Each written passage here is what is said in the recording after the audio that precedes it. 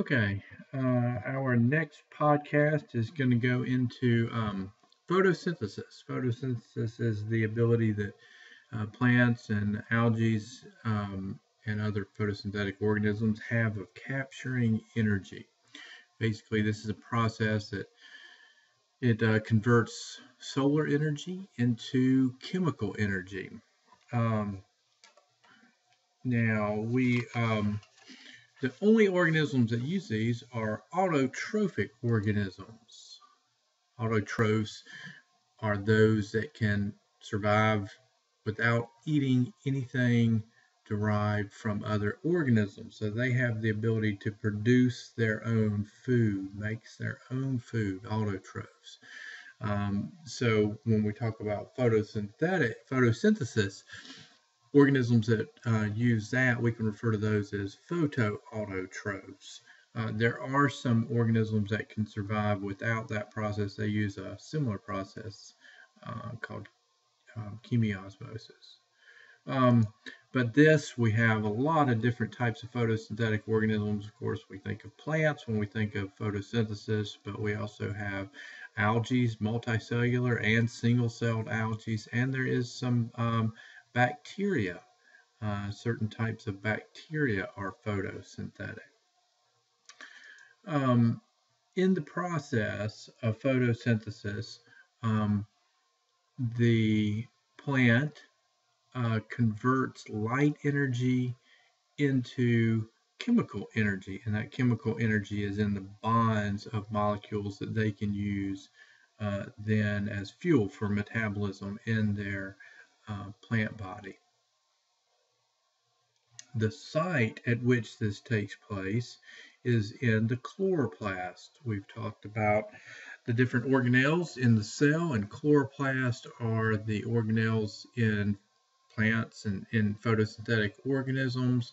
And this is uh, where it takes place. Now, most of these are found in the leaves, uh, and um, they get um, basically the plant gets this green color from a pigment that's in these chloroplasts. Chlorophyll is the pigment. And um, they um, are found in the middle of the leaf in the mesophyll. So let's look at this diagram. This shows where the location of these cells are. So here we have a leaf here. We show a cross section right here. And right in there is where more most of the chloroplasts are located is right there in the it's called the mesophyll. That actually means middle of leaf. Phyll means leaf, meso means middle. Middle of the leaf. All right, so we look at one of these chloroplasts, pull one out right here. Here's a microscopic view of a of a uh, uh, of a mesophyll cell right here, and then we can pull out. So this is the cell uh, itself and then the chloroplast we can look at that's one chloroplast. And we can look at it in this diagram to see more of its structure. Uh, and this shows down here at the bottom it shows a um, electron microscopic view of what one of these chloroplasts actually looks like. But this figure shows us a better diagram in explaining it. So the chloroplast has a double membrane we can see that right there. So double membrane. And inside are these units that collect the solar energy and are, are going to be the site for uh, the um, uh, chemical reactions of photosynthesis. Uh, these structures inside are called thylakoids, and a stack of these thylakoids are called grana. All right, and um, so the thylakoids are like each one of these little sections that are stacked up here. An analogy that's usually given in explaining thylakoids and granum are uh, thylakoids are like coins, and if you stack a bunch of coins together, um, then you get uh, that that whole stack would be referred to as the granum. Each individual coin would be a thylakoid, or sometimes people explain it like uh, stack of pancakes. So if you have one pancake, that's what a thylakoid is. And you stack uh, a bunch of them up, and um, the stack of pancakes would be analogous to the granum. All right. that's going to be the site that we'll look at for these reactions um, that we're going to talk about. So in um, photosynthesis, we have a number of things that, that take place for the um, uh, chemical reactions to proceed. Okay, uh, kind of a summary of what all takes place, or basically kind of what um, starts the reaction process and what is the ultimate outcome. So in this we have uh, some simple molecules, carbon dioxide and water. We have our light energy. Those go through a series of steps or degradations, and then uh, we have the bonding and forming of our um, carbohydrate molecule or sugar. So this right here is produced uh, as the outcome, and this is going to fuel these bonds that are in here are going to fuel um, the uh, plant. Um, in the process of splitting these molecules, reconfiguring them, we have a byproduct of oxygen and water. So that's kind of a summary. We're going to look at the steps of that. Now we split water. Water is split and this shows uh, kind of some of the reactants and products. So we start with these right here. We have uh, our carbon and oxygen are split. The water is split uh, here. The hydrogens go over here and form part of the sugar. So that's uh, some of what's taking place. Now this is, photosynthesis is a redox reaction. We talked about that when we looked at uh, cell respiration. Uh, photosynthesis as well is a uh, redox reaction um, meaning that it is uh, oxidation and reduction where we have loss of electrons and gaining of electrons in the uh, process. So, um, we, but we can divide um, photosynthesis up into two steps. Uh, the two steps are though some of them require light and some uh, do not require light. And um, so we're going to look at each one of those. Okay, the um, the uh, light reactions is sometimes called the um, light dependent reactions, um, and then the um, or the photo part, the synthesis part, the combining of the molecule, uh, the um, simple uh, elements to form our, our larger molecules is called the Calvin cycle. Um, so in the first part, this reaction, these reactions take place um, in the thylakoids and it splits the water, releases oxygen, reduces NAD. So this is one of the electron uh, carriers.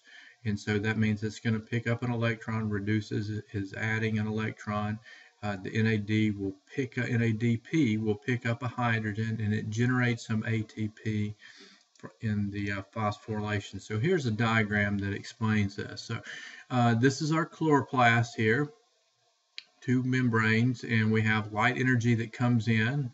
So these reactions require light. We have water that comes in, and we have um, uh, our electron carrier comes in and ADP comes in and a free phosphate. And what we have coming out is ATP is produced from this. We have NADPH, which is pick, picking up a hydrogen from water. Here's our carrier. That's going to be an important um, electron right here. And we have our light energy and we have oxygen that's given off as a byproduct. So these are called the light reactions.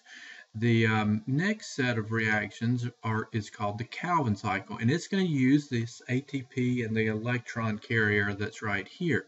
So the ATP comes in, and we have a series of reactions that, that are going to convert this carbon and the carbon dioxide into our sugar. And so in that process, that's what we have that comes out. We have in ratio of one carbon we have, for every one carbon, we have two hydrogens and one oxygen that's given off. So we have our, our sugar right here. All right, so that's the two broad steps, the uh, light reactions and the light, um, um, or the Calvin cycle, or sometimes this is called light independent reactions, or the dark reactions. Um, just a way of explaining that light is not required for these reactions to occur. These are referred to as the light reactions. Okay. Um, so light is what fuels this um, reaction or starts it. We have light can be described in waves or pigments. Certain light waves are absorbed in, uh, in these thylakoids and um, get the process started. Other um, wavelengths are reflected off and not used. Now in our chloroplast, we have series of these reaction, a series of these thylakoids or granums, and some of these are going to be those that absorb the light and some that don't. And um, a grouping of these are called photosystems.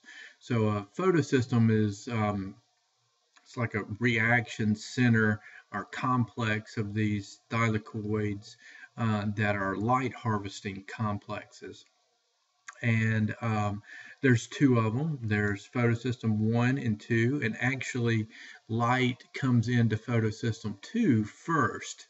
And it's the best at absorbing the, the type of light that is required. Uh, and um, so photosystem one is um, um absorbs at a wavelength of about two, uh, 700 nanometers, and then photosystem two function is, is what functions first and is best at absorbing at about 680 uh, nanometers. So these photosystems um, are um, light harvesting units. So we could describe these. And then um, uh, electron chains are set up in these to actually produce the um, ATPs. So here shows a diagram of uh, our light harvesting units, photosystem 2 and photosystem 1. So here we have our um, hydrogen or waters coming in. Uh, these are the pigments picking up and um, the hydrogens that are stripped away set up a are set up here and they set up an electron chain that feeds over to the next photosystem uh, and then um, photosystem 1 and then again uh, hydrogen set up an electron chain. So we can see that. And then our production of ATP comes from that electron chain. So there's our photon here. In this uh, analogy, we have our light pigment is called a photon. And it hits there and energizes these electrons, sets up this chain, and the same thing happens in photosystem 1. Now the Calvin cycle is um, uses this ATP. So it uses this ATP and the uh, electron carriers um, to convert the carbon and carbon dioxide to sugar. So we have carbon fixation, we have reduction that's taking place, and we have the production of our uh, three carbon sugar uh, from three carbon dioxides. And so these amass together to form um, our sugars in in um, in the Calvin cycles, what that's referred to as.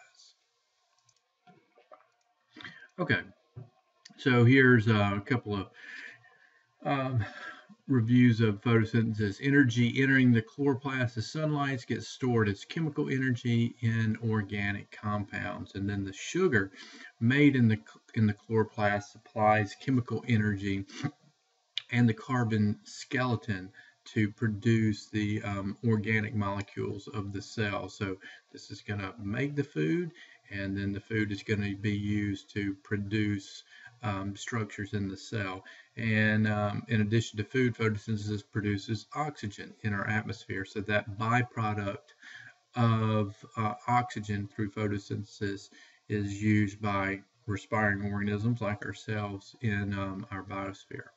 Okay, so that's where our lecture on photosynthesis ends.